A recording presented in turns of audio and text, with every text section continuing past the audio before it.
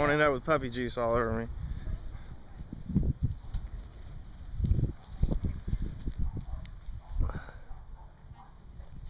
You are awfully cute.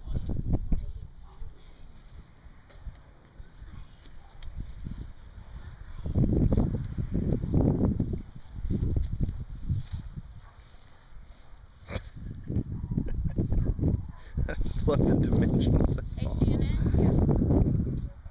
Mouth.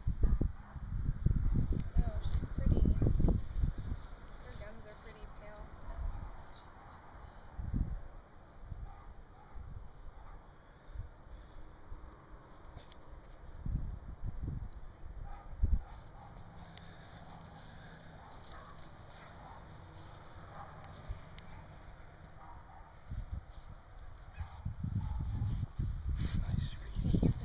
Yep. She said maybe not handle her so much because you guys are pretty germy.